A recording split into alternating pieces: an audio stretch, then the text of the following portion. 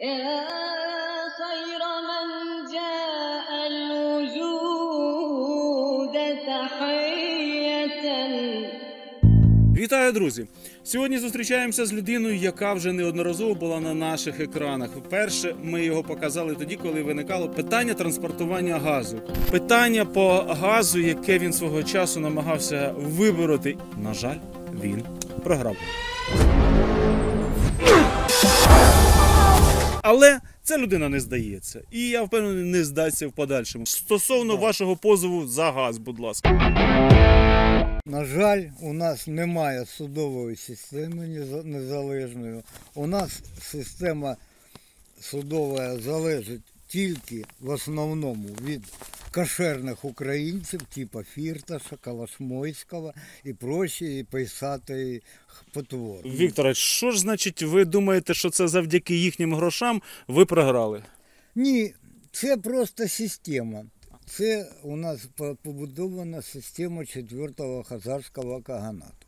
Оце мало хто знає, ви знаєте. оце? Пояснюю. От перший хазарський каганат був, коли Святослав Хоробрий 3 липня, до речі, треба було зробити цей Це святкування, це це свято як День державності Украї... Русі України. Це якраз Ну, це ви зараз сказали із сарказмом, да? От ну да, тре- да. Ага, ага. Ну тому що 3 липня 964 року Святослав Хоробрий переміг хазарський каганат. Потім він відродився в 988 році в жидохристиянізації роки, е, Русі, коли князь Володимир відродив хазарський каганат. Тому що це ж відомо, що в основному ця секта жидівська насаджувала жидохристиянство на Україні Росії е, вогнем і мечем. Тоді ж в Києві скільки людей. Да. Вікторович, вибачте, зараз переб'ю, скажу так. Коли нам скажуть, що ми використовуємо слово жид на нашому каналі, нас можуть, скажімо так, і чи Ну ладно, забанити. каш Україна. Чудово. Кошерний українець. Але я знаю точно, будучи в Польщі, я вчув від поляків саме оце слово а, жид. да. І слово жид для них не ругательне загалом, це зрозуміле слово. Але питання в тому, що я не намагаюся там когось образити і або когось е, принизити. Питання в іншому.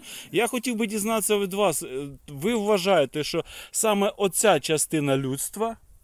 Оце, оця частина українців намагається своїми власними якимись переконаннями нас е, принизити чи е, А вони постійно принижують.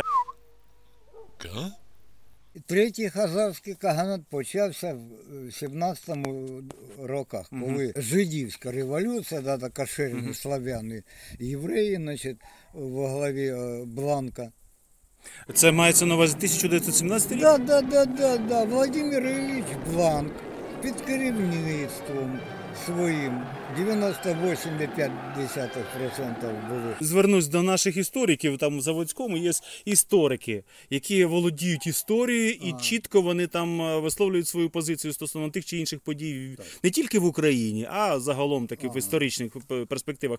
Е, Будь ласка, шановні історики, прокоментуйте саме цей вислів. Мені О, цікаво. Можу сразу відправити істочникам витоків цієї інформації. Це е, Олександр Буровський, професор Пітерського і Новосибірського і Іркутського університету, який написав е, роботу євреї, яких не було. Там якраз і ця тема відкривається. Дуглас Рід, головний редактор Нью-Йорк Таймс, двічі зустрічався з Гітлером і досліджував питання спора Сіоні. Це, книж... це є роботи Да, їхні, да, да? да, конкретні роботи, конкретні роботи. Юрій Мухін, «Опасна тайна», до речі, він з Дніпра. От. Третій хазарський каганат, це якраз була переіменована е, Російська імперія в Сири-Сири. Мгм. Це третій Ну, казахський. Союз Радянських казах- Соціалістичних О, Республік. До речі, для істориків, е, Сталін не був грузином, він був грузинським євреєм, тому що Джуашвілі перекладається єврейський син. До речі, хочу сказати, що Сталін це і є Джугашвілі. Його е, От. дівоче, скажімо так, прізвище, Джугашвілі. офіційне прізвище Джугашвілі. Да. А, дільше, а далі він взяв собі Джуха. псевдонім Йосиф Сталін. Да, Джуга єврей, Швілі син. І Я ви- вас зрозумів. да. Тобто, Вікторович, ну ви знаєте, ми далеко так зайшли. І третій хазарський каганат плавно переходив в четвертий хазарський каганат на територію України. І очолив цей хазарський каганат щирий е, кошерний українець Кравчук Блюм. От. Потім став Кучма Гіршик. Зараз можу е, з дівочої фамілії е, Кучми помилитись, все в роботах Едуарда Ходоса. Там. Все опираєш в основному на історичні або єврейські істочники. Тобто нам варто почитати Да. книжку Едуарда Хо- Ходеса, яка називається як? Ой, там книг багато з першої по шостої. Ну, Едуард інтернеті. Ходос також ж єврей, правда ж? Так то, то нормальний єврей, то не жид. Пояснюю, різниця між євреями і жидами. Ага. Нормальні євреї, які називаються євреями і ведуть себе як євреї, вони стараються або на користь Ізраїля, живуть в Ізраїлі собі, там служать Сахарі, будують Ізраїль. І там нехай займаються Да, да, да. і будуть євреями. А ті, хто тут живуть, от такий, на кшталт Зеленського, Колошмойського, Фірташа і так далі, от всіх цих особливо олігархів, вони тут жиди все ж таки. Вони грабують український народ, прикривають деякими гаслами. І стосовно Параха Вальцмана було інтерв'ю. Е, Подождіть, Пороха Вальцман, я так зрозумів, це мова Порошенко. про Петра Порошенка. Да. Чітко. А ви упомянули б ім'я нинішнього президента. На, ну це зрозуміло. Пан Зеленський, йолки-палки, це ж капець. Вчився в Єшиві з чотирьох років, викладає Тору, основи Талмудів і так далі. Що Тобто та- він це проходив, оці Да, всі да. науки, Що да? Мгм. таке іду- іудаїзм? Іудаїзм – це теорія нацизму. Що е, у нас зараз в Україні якраз керує секта Хабат Любавіся. Отже, шановні друзі, я звертаючись до вас, до українців, хочу сказати, що пам'ятайте про те, що кожна національність, як би це не було, якби не говорили, що це фікція, кожна нація має власні. Власні коріння, тобто мову, віру, культуру. Е, Все це підходить під поняття нації. Отже, пісні українські, отже, мова українська нами повинна бути вивчена і знана. Саме тому ми будемо українцями. Пам'ятайте, що євреї також вчать власну віру, власну націю, власну мову вчать, і тоді вони стають євреями. Вікторович, а до вас стосовно, скажіть, будь ласка, давайте ж повернемося до вашого позову. А, до моєго позову. По другій е, справі я подав проти Полтавагази. Чому? Тому що був карантин, указ президента. І закон був підписаний ним же від 19 березня 2020 року. Вони не мали права мене відключати. І наперекір закону вони прийшли відключили, так? Без рішення суду. Ви подали позов проти незаконного відключення і Да. вам відмовили в цьому позові. суддя Бондар, вона винесла всупереч закону про заборону відключення під час карантину. Суддя Бондар винесла постанову. Це Лохвицька суддя? Да, да, Лохвицька, вона Лохвицька суддя, давайте зараз прямо, прямо скажемо. Суддя Бондар порушила закон України, постанову президента. да, і постанову президента я рахую так. Коли ви подали цей позов, була е, підтримка юридична у вас, правда ж? Була, да. Е, ви е, в цей позов програли, а потім звернулися вище. Далі. Далі я подав в апеляційний суд Полтави. Подивився на склад суддів, я сразу знаю. Для вас це було суттєво, чи це просто ви випадково випадково Ні, подивилися? Ні. Просто я знаю дуже Полтавський апеляційний суд. Він постійно виносить свої рішення, Рішення? проти іменно людей, малозабезпечених і так далі. Там і скандали був. Там одна суддя була декілька років тому, винесла значить, постанову на користь. Е, лю- Простої людини, не на користь мафії, там неважливо. так, так там її вигнали з роботи. Ага. Ось в чому, я просто не пам'ятаю прізвище. Я пам'ятаю цю справу Полтавська да, суддя, яка була дуже гучна справа. При цьому ви отримали великий розголос, і ця суддя була не безкомпромісно відносилася до своїх посадових обов'язків. вот, вот. Тому е, ви передивилися склад суду і що вирішили? А я просто сразу виразив недовіру Полтавському апеляційному суду, составу, який м, почав розглядати от, Вашу справу. да, мою справу, вони відмовили. От Почекайте, тобто ви виразили недовіру цьому суду, а вони відмовили у вашій недовірі. вашому моєму позову. Це порушує Європейську конвенцію, Конвенцію прав людини при доступу до справедливого суду, судочинства. Скажіть, ну юридично, ви ж зв'язувалися зі своїм, своїм власним да, юристом? Да, да, з юристами і Марією Іванівною я постійно був. Марія Іванівна Туник, Да, це да, Лофицьке бюро безкоштовної правової допомоги. Там- Звертайтесь, до речі. Золоті люди.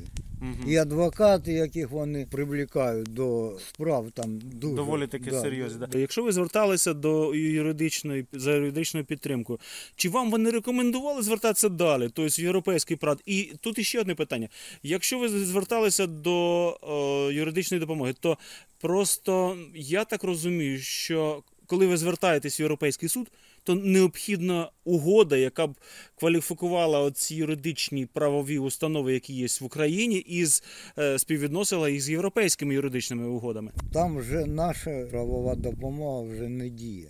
Тобто вони самі там уже розглядають, так? Да, да. А тепер давайте по порядку. Тобто ви далі звернулися в Європейський суд.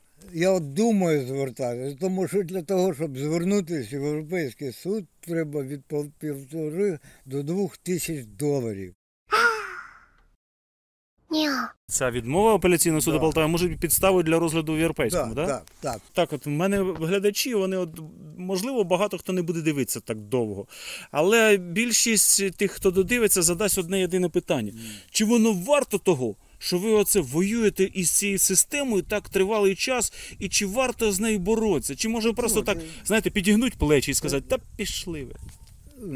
Тут палка о двох кінцях. Так. Я думаю, так. Коли гроші є, ви знаєте, що ви праві, треба йти до кінця. Ми не знаємо своєї історії, історії релігії, тому що вона тисячу з лишнім років вона знищила. Все одно стоїть боротися. Чому? Тому що, як казала Свобода, свободі всі постійно кажуть про реформу судової системи, закон про відклик суддів, щоб судді обирались громадами. Ладно я. Таких як я Полтавській області, 20 тисяч людей, які відключили незаконно, тому що закон не працював, який називається заборона на відключення від 19 березня 2020 року. Оце якраз, друзі, той момент, коли є закон, а реалізації його немає. Ого. У нас не Україна. У нас або четвертий хазарський каганат, або одинадцята провінція Ізраїлю. Ізраїль не визнав голодомор в Україні, це Во. відомий факт. Але Во. питання, але питання, якщо Ізраїль не визнав голодомор в Україні, то був голодомор в Україні? Був. Був голодомор, е, як геноцид. 6-9 мільйонів знищених людей було. Це ж хроніки підтверджують. До речі, а хто перший згадав про голодомор в Україні? Ющенко. Ні. Ні. А хто? Зараз впадете. Коли було відкриття посольства Сири-Сири в Берліні, перший про голодомор в Україні згадав, знаєте хто?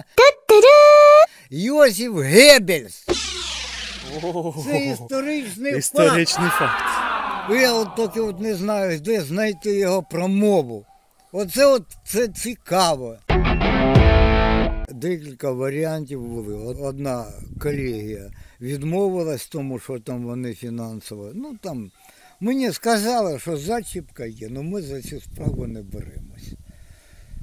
У мене така думка, що зв'язана з кошерними українцями. Одна відповідь повинна прийти з Мюнхена ну, мені обіцяли, як там буде. І ще один варіант, я надіслав е, номер справи, людина повинна подивитись. Ви розкриваєте всі карти, і можливо це не спрацює. Не розкривайте всі карти. От на цьому ми закінчимо. Олексій Вікторович, я вам дуже дякую за змістовну розмову. Можливо, вона буде доволі таки конфліктною для вас, можливо, дуже незрозумілі багато питання. Тому читайте історію, учіть історію, учіть українську мову, наголошую на цьому.